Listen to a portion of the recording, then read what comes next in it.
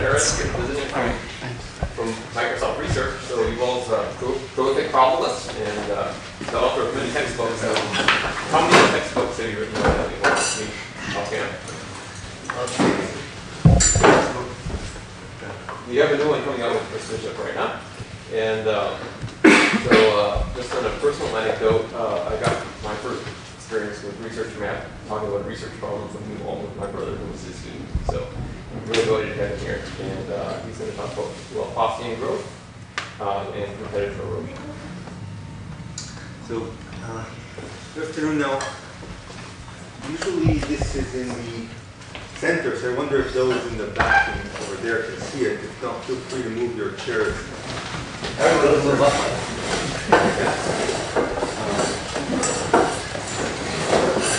So I did, no, I, I'm a big believer in Blackboard talks, but I did my duty on that today in the, uh, you know, lunch math club. And this topic really goes well with pictures, so, so it's going to be a slide talk. Uh, so it's a real pleasure and honor to be here. And um, so the first part I'll talk about, um, you know, survey work of many people, but my own work on it is joined with Lionel Levine, who's now in Cornell. Uh, and the second part, uh, focusing on competitive erosion, uh, comes from questions of uh, Jim Propp and his joint work with Shirshendu Ganguly. I'll mention that again later. So there are many kind of ways to start this topic. So one, one way is to define a rather strange addition operation. Um, so it's a way you take two sets in the lattice and you add them to get a new random set on the lattice. So there's going to be some randomness in the process. So this was this was uh, defined by uh, Persi Diaconis and Bill Fulton. Um, and they had an inkling that this will be good, but they didn't quite know uh, why. And part of this is answering their challenge. So maybe I'll come back to the slide, but it's clearer in a picture what we're doing here. So again, in all these pictures, think there's a fine lattice drawn here, just so fine you don't see it. Um, and then we have two uh, sets. And these sets, in this case, these are the two squares, the blue square and the green square, and you see they overlap here. And in this addition operation, we're going to add two sets, create a new set with some randomness involved. Um, if the two sets are disjoint, then the sum will just be the union. Won't be very interesting. So I did. I took two sets that overlap. How do we add two sets that overlap? Well, think of adding their indicators first. So you'll get one here, one here, and two here. Now think of that, these indicators as counting particles. So we have, initially we have one particle every point here, one particle here, but two particles every point here. Now, the excess particles, so every location here has, you know, one particle to stay here and one kind of excess particle. And that particle starts walking, a random walk, till it first finds an unoccupied spot. So you go one by one, you choose one particle here, and it starts random walk till it first finds an unoccupied spot settles there. Then you take another particle and it walks till it finds an occupied spot, settles there, and so on. And you keep going till every particle has its own spot, and then you stop. So you'll get a, a set which is somewhat random because uh, the random walks involved. Its total size or area will be like the sum of the areas of the two states sets you started with will be equal to that sum. Um, now there seems to be some ambiguity here because in what order do we choose these particles to move? It turns out that the distribution of the random set I get doesn't depend on these choices. So you can choose any order you like and you'll get the same distribution on random sets.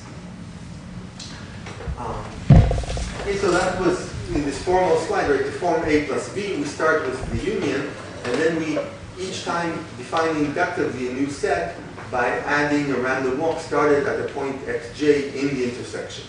So that's what I showed you in that picture. And there's this abelian property, the distribution of A plus B does not depend on the ordering of these points in the intersection. Uh, now the first case of this to be analyzed is the case when we just keep adding the origin to itself. And this is a process called internal DLA, which was actually proposed in physics earlier.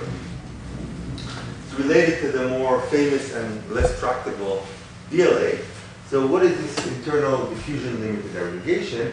We start at the origin and we keep adding the origin to itself according to this rule I told you. So um, what this amounts to is it's a, uh, it's equivalent to you can think of you add, you insert particles at the origin. The first one just stays at the origin. The next one will walk randomly until it finds an unoccupied spot, and so on. So.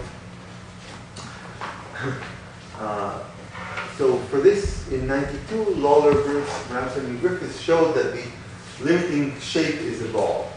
So maybe I'll show you a picture. So um, this is what you get when you do this a million times. You have a, each time you start a particle at the origin, the first one will stay at the origin, the second one will walk somewhere. You know, the nth one will start at the origin and walk till it exits the current set and settle there and so on. Does this depend on being a square grid, or it makes no difference if it's a triangular or some other kind of grid? So, right, so for all uh, isotropic grids, it will lead to a disk as a limiting shape. This is a non-trivial fact, uh, first proved by uh, by Lawler, Bramson, and Griffeath in 92. And for a long time, the question is, you know, what are, what are the fluctuations near the boundary? So you, if you look closely, you see it's not a perfect disk. And um, the first proof didn't give any bounds except saying well, the limit is a disk, so the error or a little over the radius. Then um, Lawler proved some power law, and the final answer was found just uh, in the last five years by uh, two independent papers, Asselah Gaudillière and Jerison, um, David Jerison, Lionel Levine, and Scott Sheffield. Uh, and uh, they found the error to be uh, logarithmic more precisely. It's log n in two dimensions, and it's root log n in higher dimensions when you uh, start with n particles. So, What did the colors mean in the picture? so the colors, well, uh, they'll mean more in the next picture, but formally what they mean for every site, we color the, we, the color represents the last, the direction that the last particle left the site. So since this is a random process, this coloring is going to be pretty random. We're going to contrast it with other models where these colorings, but um, so, so, so I didn't talk about colors, we'll see them more in action in closely related models. Okay, so this is internal DLA. Um, so there are several directions you can go. One is change this random rule to maybe some deterministic rule. Let's see that. Another is uh, change the starting configuration instead of uh, adding the origin to itself. Maybe start with some, you know, other configuration. Like what happens with those adding those two squares, or if you add two disks.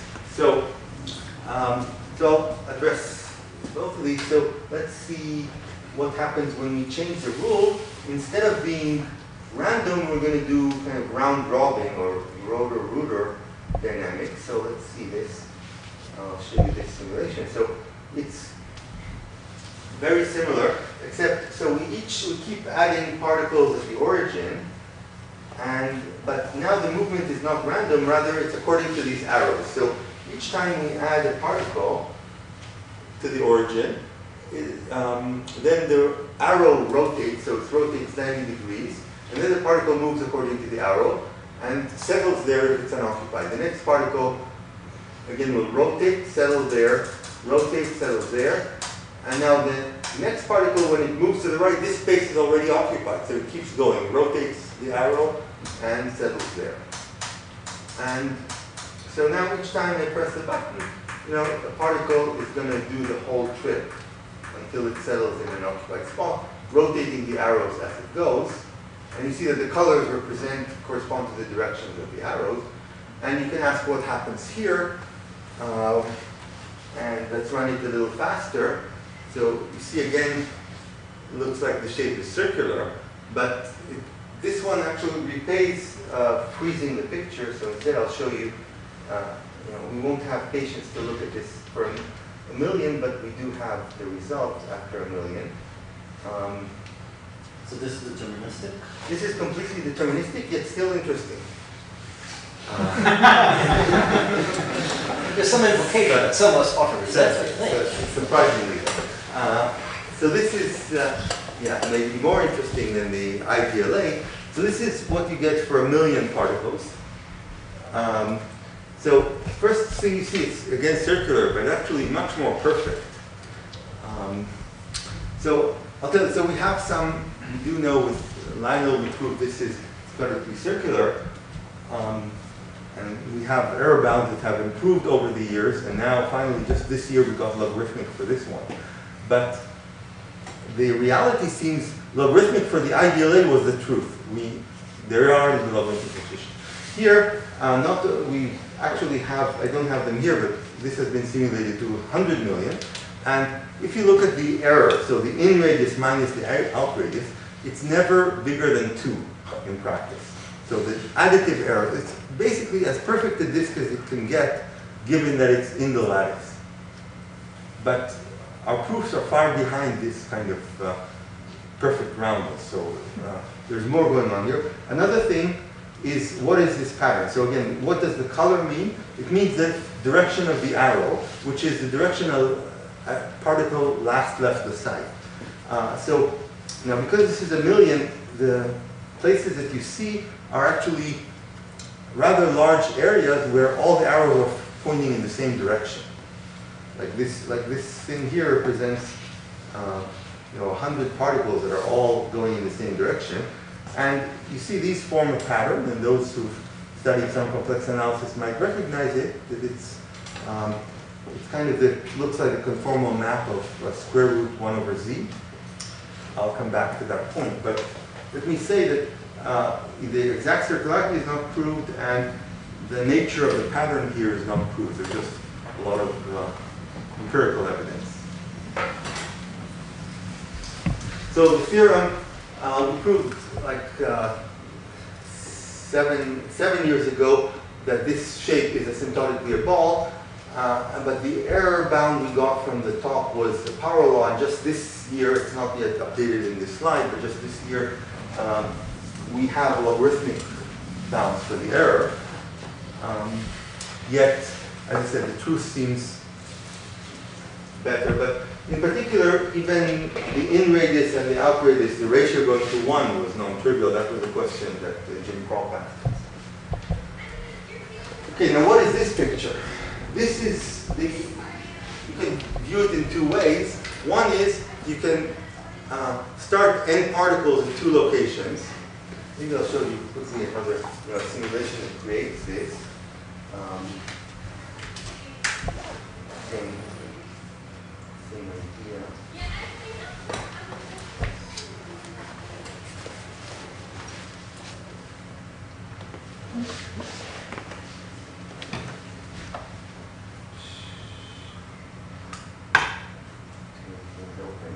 Um, so, okay, there we go.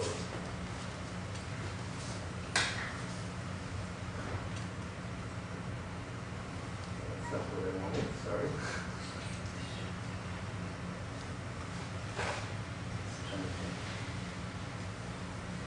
Okay, we'll, we'll just focus. So what this picture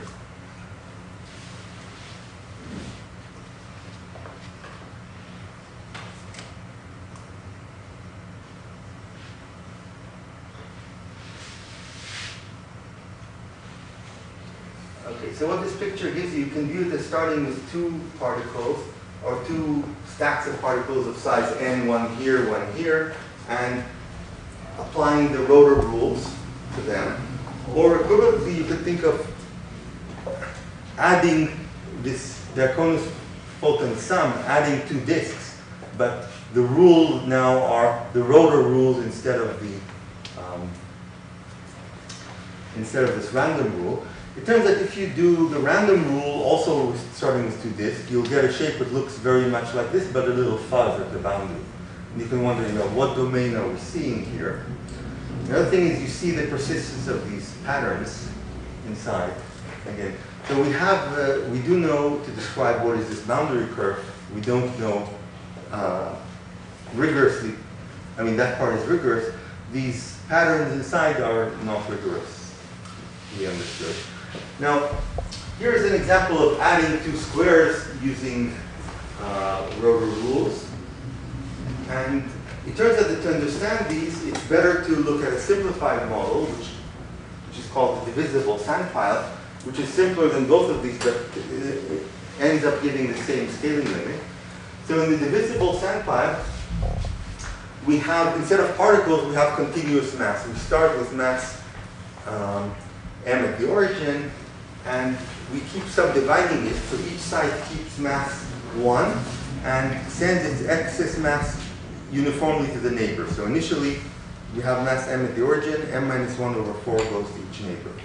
And we keep going this way, passing to a limit, we get some set where the mass is 1, and outside it the mass will be, uh, will be 0 except for some boundary layer. And if we do this, it's actually easier to prove that this yields a disk with only an additive error. So this is how this shape looks, so also a perfect disk. So this is very much like a random walk, except for this stopping when you have mass one, isn't it? And there's no randomness in it, right? So we're doing, we're But you're dividing doing- this as a, It's like, like like using the all possible expectation. paths though, like, Yeah, so it's like tracking the expectation of a random walk. so you'd expect something normal if it weren't for this stopping at one, basically. Wouldn't, if you just took the mass and subdivided and went, subdivided and went with no stopping, That's right. you'd get a normal distribution, is that right? That's right.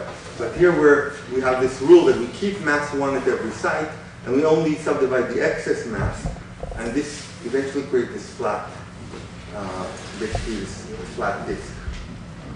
Now, the same rule can be used to do a, ver- a smash sum, a version of the Diaconis-Fulton sum without any randomness, right? So here we add the two indicators, and now we think of them as sum, as mass, sorry. So, and then we, just every site that has mass bigger than one, divide the excess mass equally among the neighbors, and we keep going, and in the limit we'll get this shape. So the red indicates all the new mass that has settled in, the blue and the green are the old masses.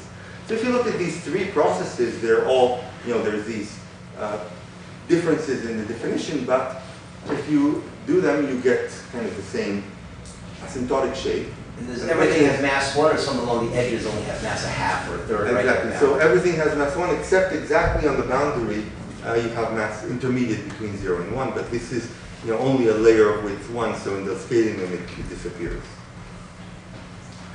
And the question is, so all these models seem to yield the same shape. So the challenge was to prove this and to describe what the shape is. Um,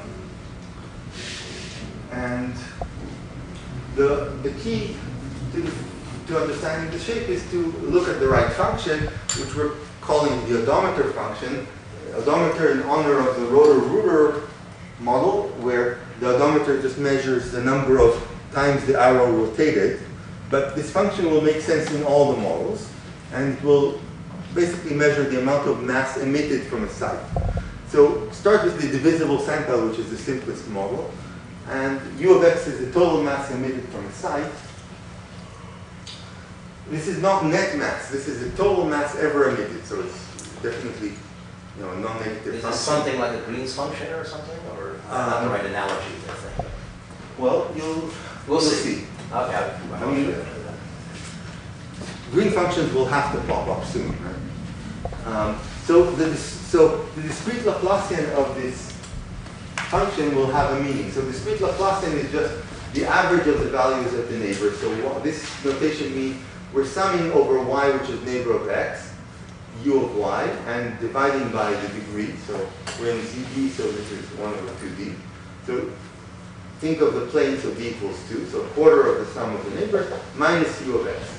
And with this function, the total mass emitted from x, this has a meaning. So this is exactly the mass received minus the mass emitted.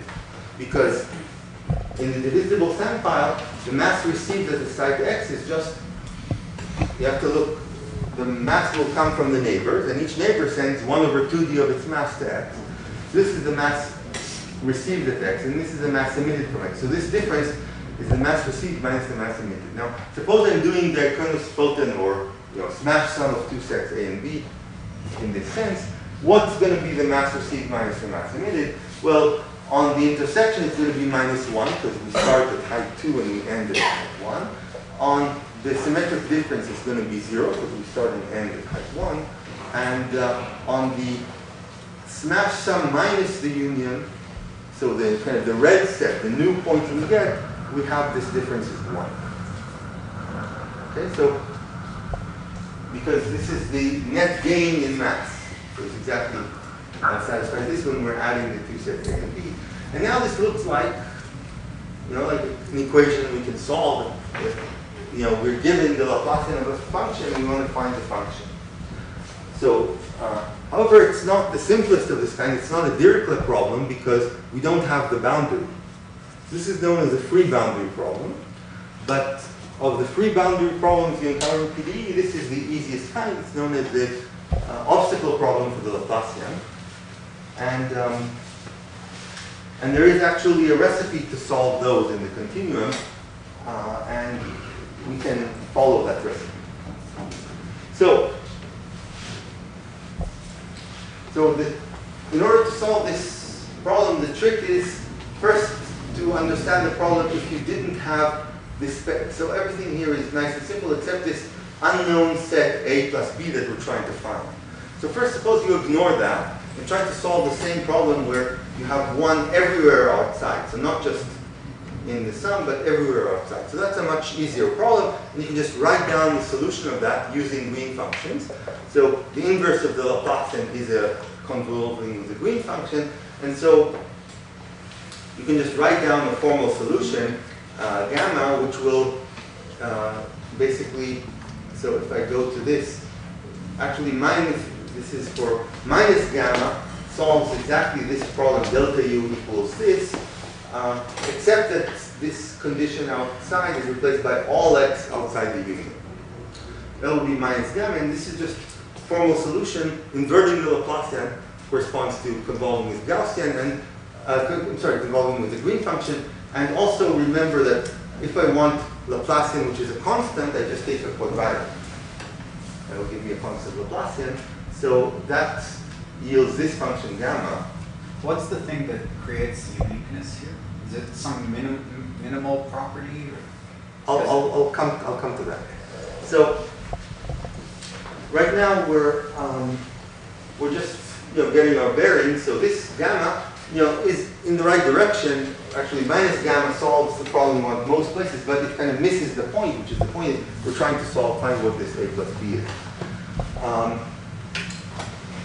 okay. So here is a you know trick going back to Björling, which is to look at the uh, smallest superharmonic majorant of this gamma. Um, and here is the, and now a miracle happens. The odometer that we're trying to find is exactly S minus gamma. So superharmonic, we're all in the lattice here. We haven't passed through the continuum. Uh, and the,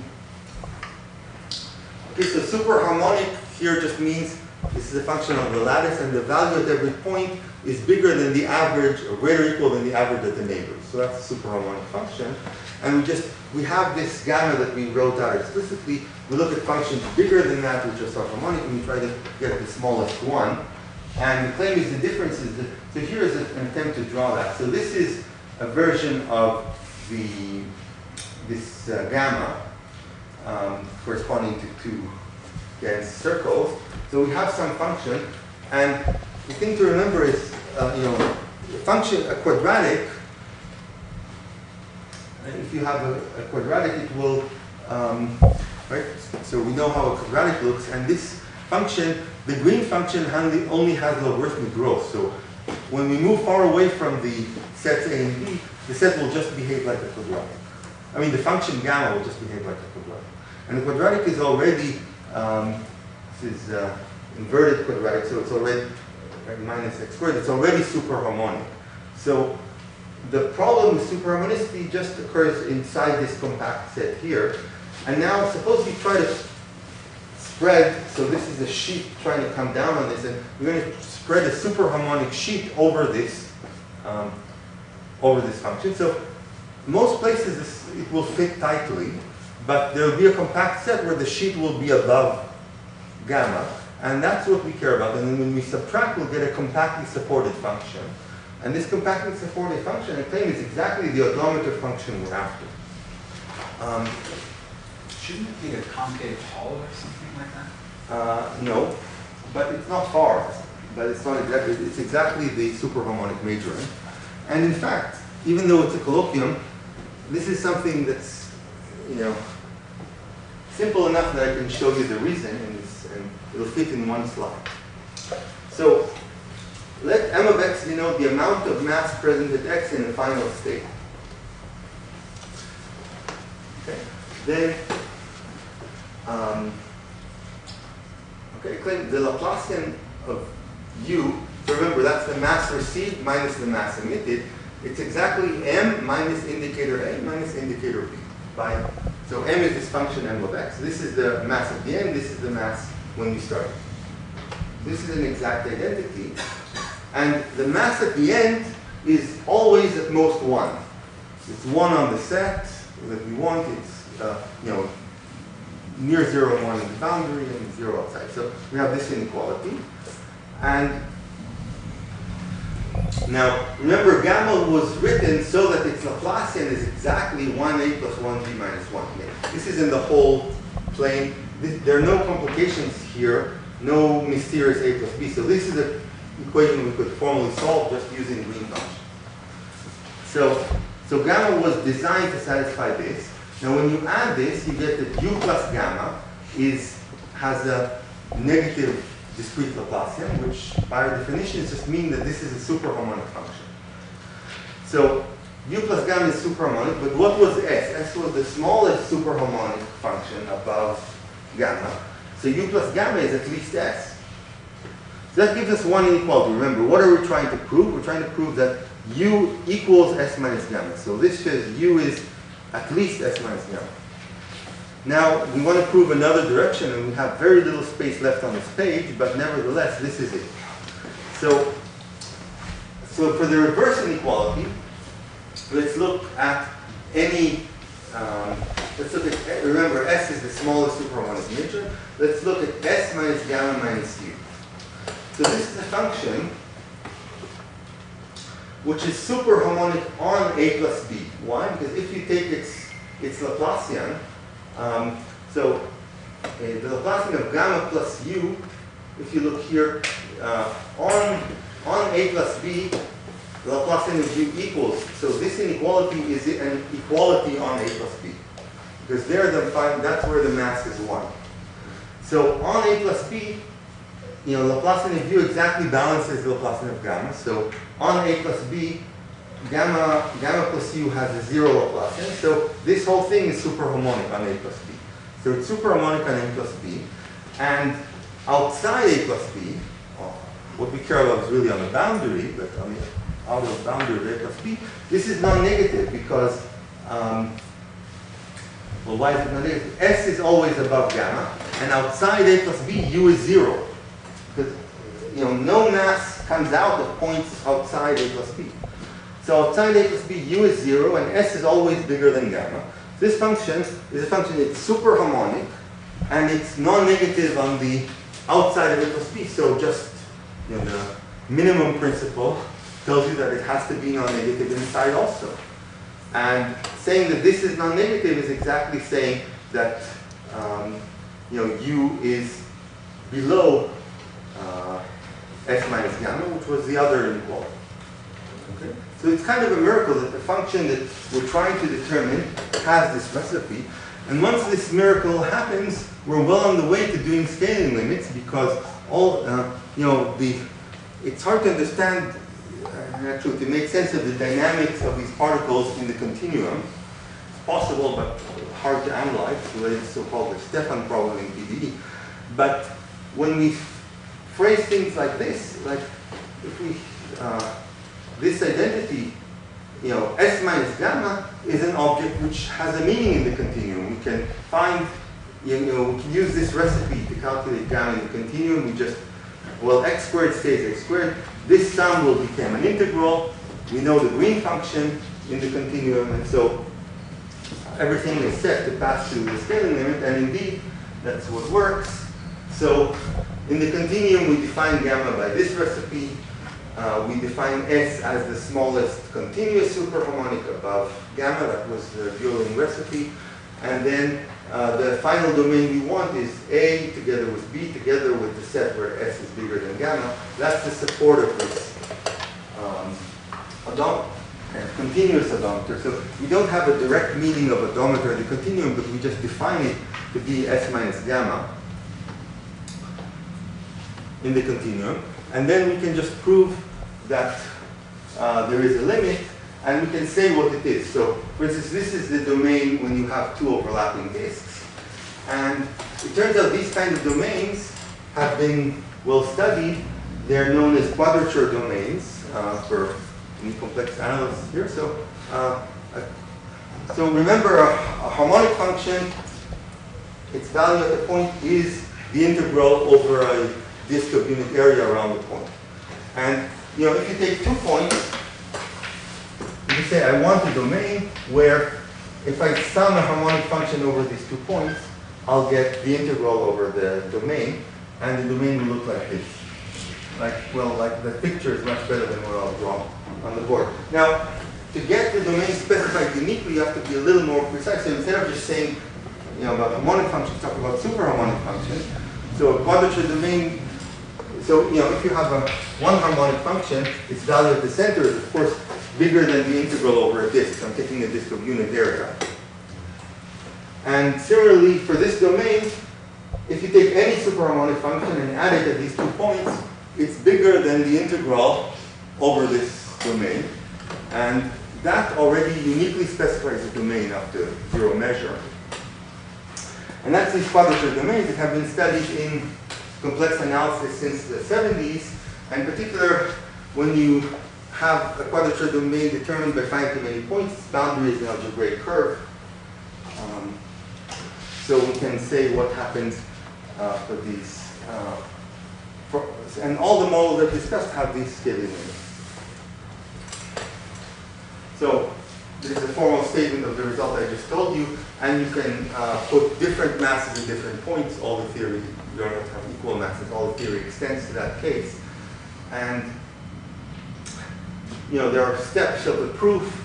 Um, each step is a little harder technically than what uh, I described. And one technical point that took us a while is in order to make these proofs go through, we really have to make sure that the uh, that before we know what is the solution of this pre-boundary problem, um, that the that the boundary of the domain we get must have zero area.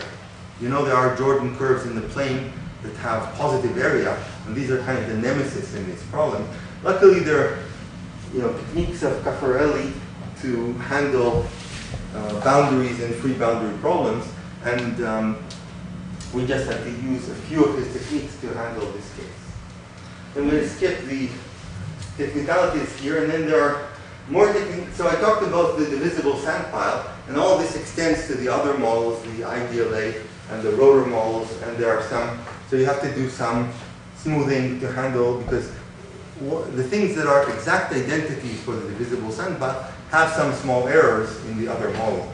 You have to handle the, handle the errors, but that's something you know we don't do in a colloquium. So, um, but there is a paper on this published already a few years ago in Journal d'Analyse if you want to see more details.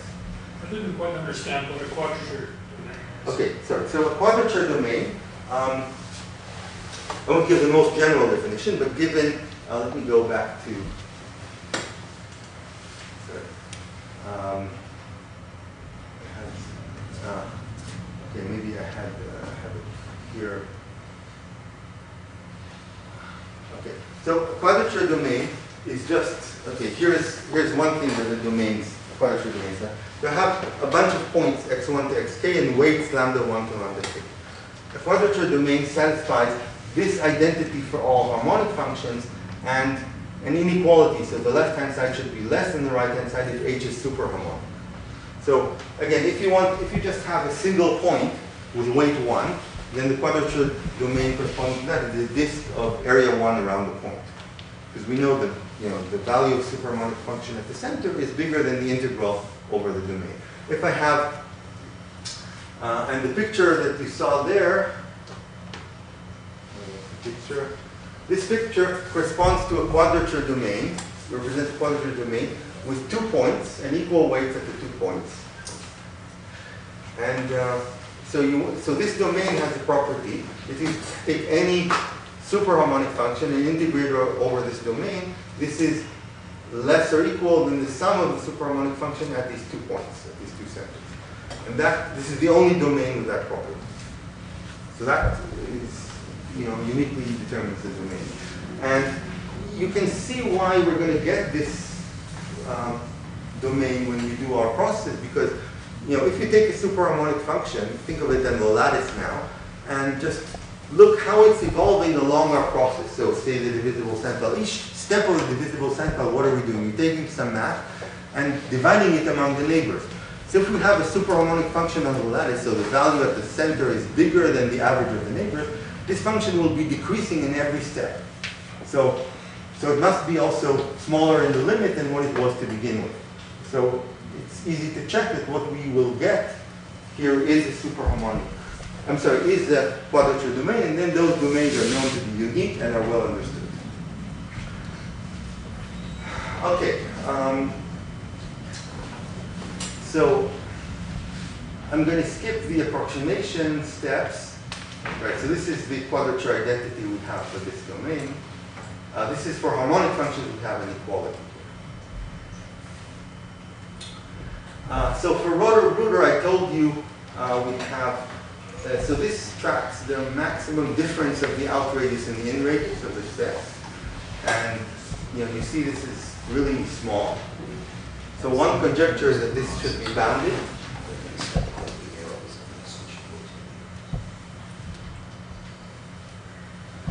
Um, here's one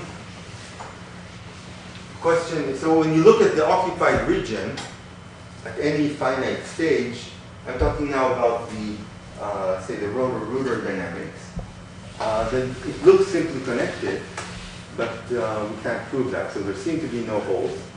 Can you prove that it's not if the arrow twists too much? What do you mean by too much? No. More? So if you had a twist, you know, Because 90 you degrees had it twist 90 degrees. What if you had it twist 180 degrees? Would it be simply connected? Uh, it still looks interconnected, yeah. So you have to do some, so the general thing, right, so I told you about the, I drew it in two dimensions, but this sets make sense in d dimensions, and you just need some ordering of the, of the neighbors of the origin, and for all orderings, it looks to be simply connected. Um, this is some variance of the set. For instance, here there's a one-sided mirror that, uh, so the, so particles coming from the top can go to the bottom, but particles coming from the bottom can't go to the top. Again, there seems to be a scaling limit for this, which has some analytic formula, we can't prove it. Um, here is what I told you before. This pattern looks like the picture of root 1 over z.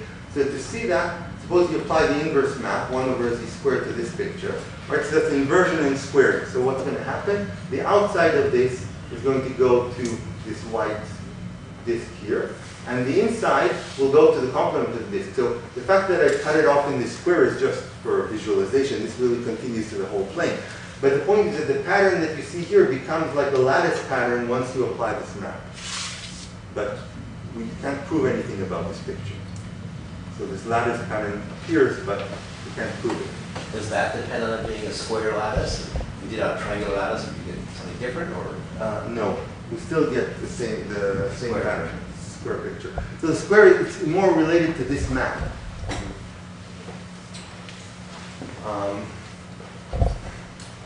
okay, so there's lots of other models. So uh, this is, you know, close relative, which is a sand pile model, um, which, you know, sounds almost the same. So you take um, when So, um,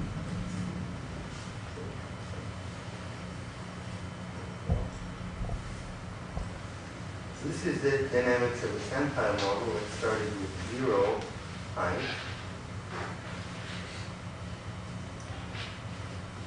So this is, so what does this, how does this differ? We also have particles at the origin, but now a site topples only if it has um, four or more particles. If it has, then it sends one particle to each neighbor.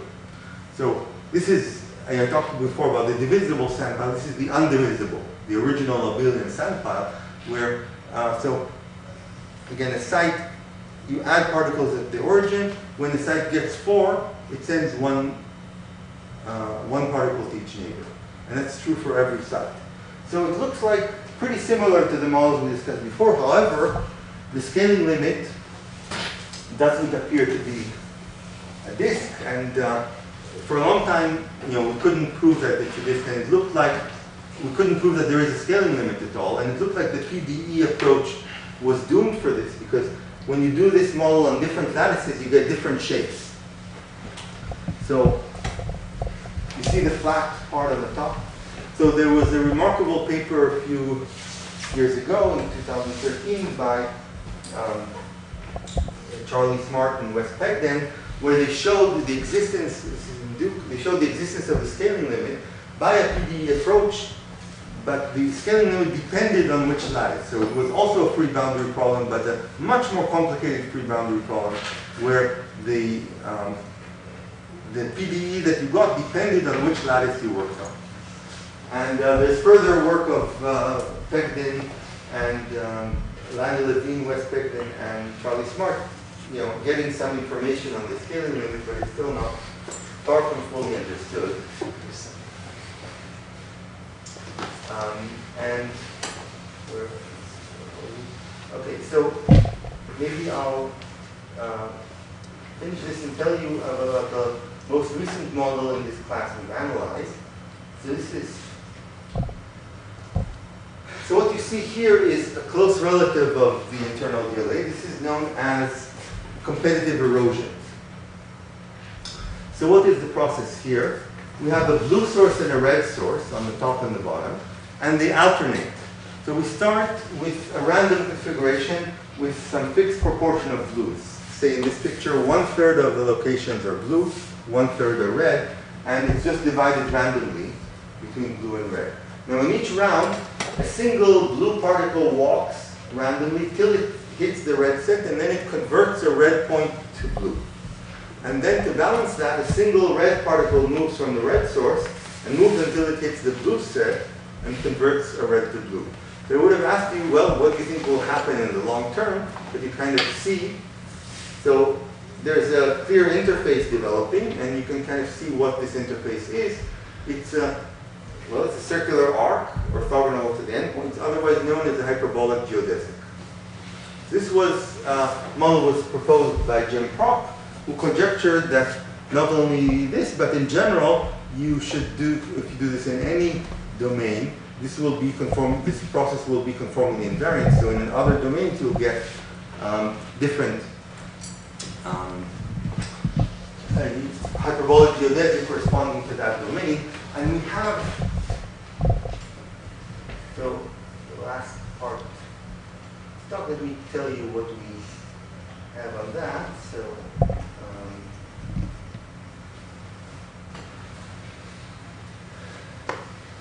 so we do know this under some assumptions. So again, this is a description of the processing. So, uh, you know, we have a red source and a blue source. A particle starts from the blue source and moves, we started here, it moved, it conquered the red location and converted it, and then a particle starts from the red source and it reaches the blue location and converts it. That's one round of this dynamics. So we started in this configuration, we ended in this configuration. Note that there is preservation of mass here. The total number of blues stays the same because we convert one and then we convert one the other way. Um, and okay, so this is contrasted with IDLA, which I told you about before, and I'm just going Can I to. just ask about the erosion model you were showing? Your Yes. blue and red sources were on the boundary, Yes. but you could make a source in the interior, couldn't Yes, you? But could. then the hyperbolic geodesic wouldn't make sense as the boundary. It would, It might make sense, but it wouldn't be the right answer. Right, so that, that can be analyzed as well, but I'm focusing on the boundary case here. Um, so, um, but, okay, so, so this is the model here, there's a lot more to understand. So we only understood the case where the initial sources, we only have understood in the paper rigorously the case where the boundary, the initial sources are on the boundary. In fact, they're little blobs which are shrinking. So we don't actually start with a point, we start with a little blob. And um, so this is the picture we got there. And in, in a general domain, so this is some general domain, we'll also get a hyperbolic geodesic. So just take, okay, we can prove things only for simply connected domains with an analytic boundary. But, you know, theory should be much more general, but this is how far we've gotten. So we assume that the boundary is forms an analytic curve. Now, one thing to keep in mind is that a conformal map doesn't preserve areas. So if I have, suppose I want to understand this domain and I have some proportion, say, you know, 40% blues, then I have, then, you know, I can't just find a geodesic here that corresponds to 40% blue because when I map, it won't preserve the area. So you really have to look at this whole family of geodesics. When you map them here, you get the whole family of geodesics. And one of them will correspond to the right proportion of blues, which is the initial proportion, and that's the one you want. Um, so the real thing which we can prove involves starting with little blobs like this and eventually shrinking them to a point. So you start the point uniformly here, and then a red particle uniformly there. Um, so one can write all these geodesics analytically. I will spare you this detail and just um, and just tell you what, what is the main difficulty and then I of have to finish. So why is it natural to get the hyperbolic geodesic here? When you look at this picture and you, okay, this was supposed to be this, if you have one third, two third, you know, someone might naively guess, not anyone here, but someone else much more naive, might guess that the boundary is a straight line, but it's not. So how could we guess that it is a, if there is an interface, there's a very compelling argument that says it should be a hyperbolic geodesic. Go ahead. I don't know. The, harm- well, point the because it's a harmonic measure argument. If we have any interface here, like this, and, you know, the particle, the, the particles from the bottom, uh, the blue particles are pushing the interface up, and the red particles are pushing the interface down. So any stable interface, these two pressures have to balance, which formally means the harmonic measure from the bottom should balance the harmonic measure from the top. Oh, I like that. And uh, now, without knowing any complex analysis, we know that if the mass was half-half, then this would be just the diameter by symmetry. And because, um, uh, because harmonic measure is conformally invariant, you know that if you apply any Möbius transformation to the diameter, you're going to get a curve where the harmonic measure from the bottom and the top will coincide. And that's exactly the family of hyperbolic geodesics. So um, images of you know, conformal maps of the disk to itself. Uh, if you apply this straight line, you'll get these. So that's why it's easy to guess that this should be the right interface, and indeed to prove if you know that the final shape is an interface. The difficult, the technical difficulty in the model is that so this is this picture. If the limiting interface, if there is one, has to have this harmonic measures from both sides the same, and and that's and that is this hyperbolic geodesic.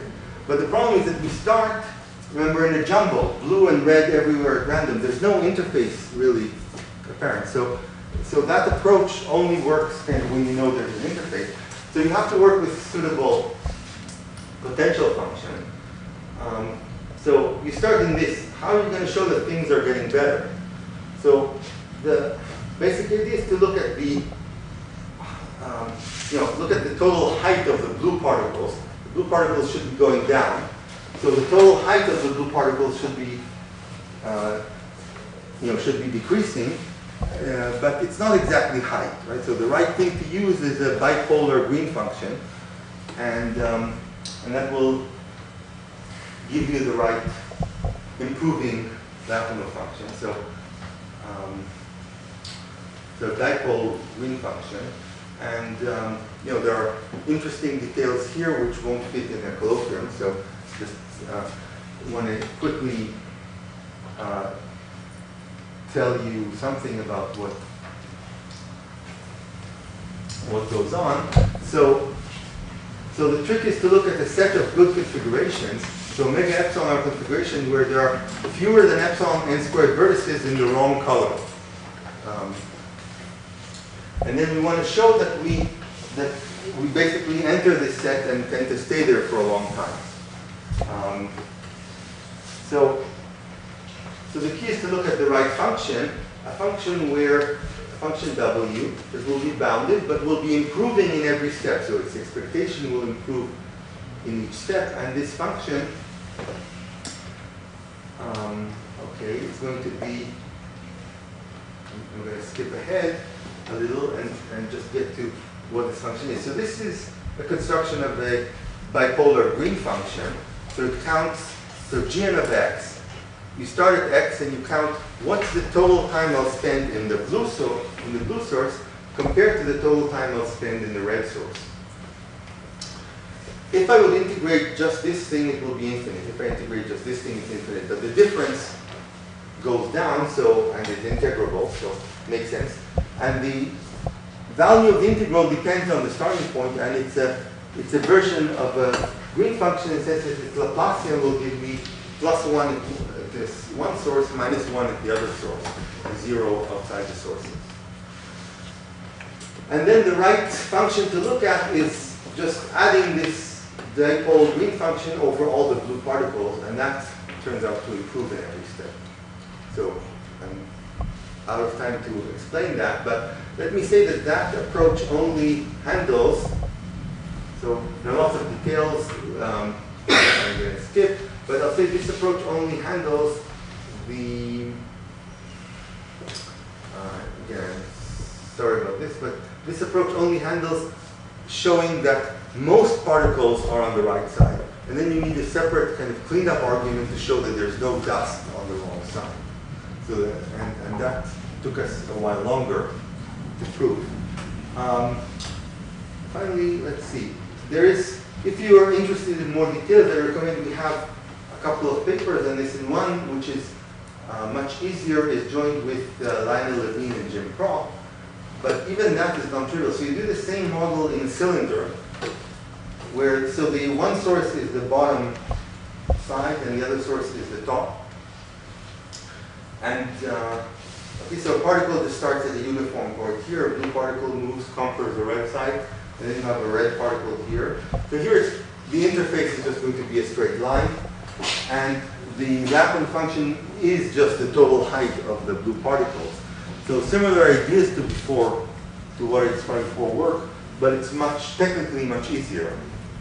And uh, this, uh, this work um, was actually a guide in the more complicated analysis that I flashed by.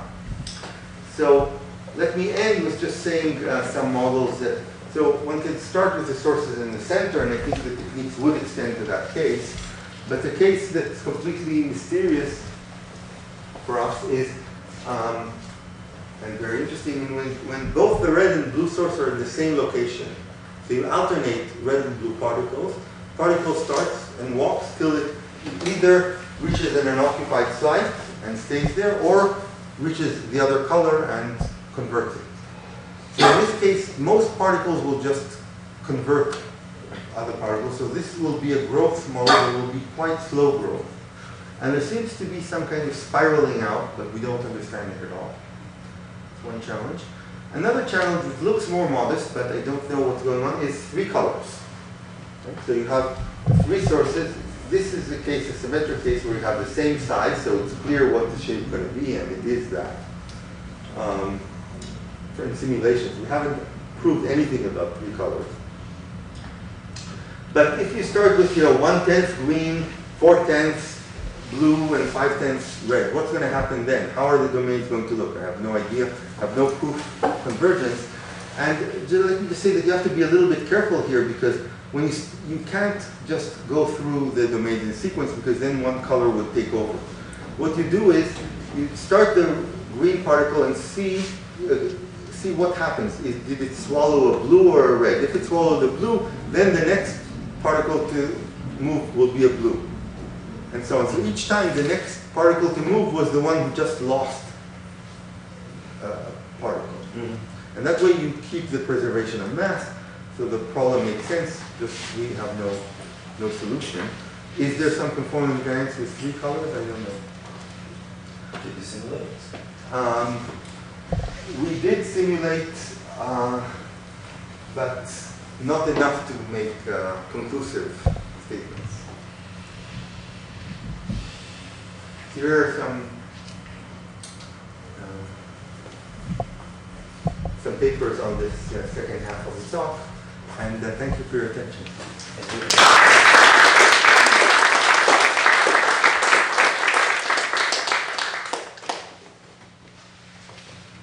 I have a curious question. Yes, You go from Microsoft. yes. How does this, how does this, what uh, competitive advantage does your research give to Microsoft? You obviously, sh- you should have come at, uh, at one o'clock for the math club, where I talked about prediction with expert advice. Um, So, but uh, another answer to your question is, you know, I work at Microsoft Research, most, you know, so I do a lot of research of different kinds. You know, some fraction of it is uh, relevant to Microsoft and some is not. Any other questions? Well, I'm just wondering, what you're doing here was depending on like a lattice or a grid or something. I wonder if there's a continuous version of this that might make sense of a sphere or a surface or a manifold where you have maybe things moving by Brownian motion or disks moving, spheres moving by Brownian motion. Yes, you could, uh, You haven't written that paper yet. uh, no. Okay. We'll work on it. Well, it's funny because uh, even if you put a Riemannian metric there to make the distribution of the particles anisotropic, the harmonic functions will still be the same. So it's really not obvious. Well, you're, what you're, the per picture with the, um, with the three colors reminded me instantly of some problems involving eigenvalues on spheres. Because, well, that picture happened to look like a, a certain eigenvalue picture on a sphere. But on a sphere, there's not really a good lattice because it's hard to, well, there's not. Uh-huh. But you can make a continuous version like the disks Yes. originating and moving by Brownian motions that they had, and then you might expect a, an analogous theory where there's not a really discrete theory that's easy to write down. Right, but you know, as long as we believe in uh, conformal invariance, we could do the stereographic projection. Yes. Analyzing all this there.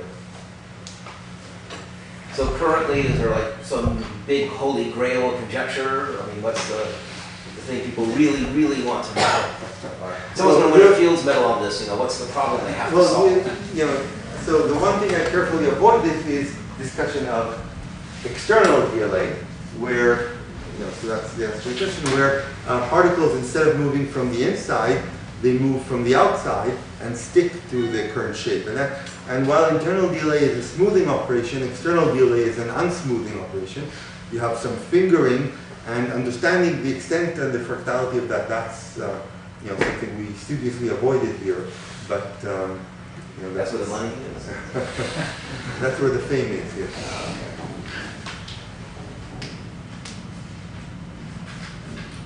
Well, thanks again.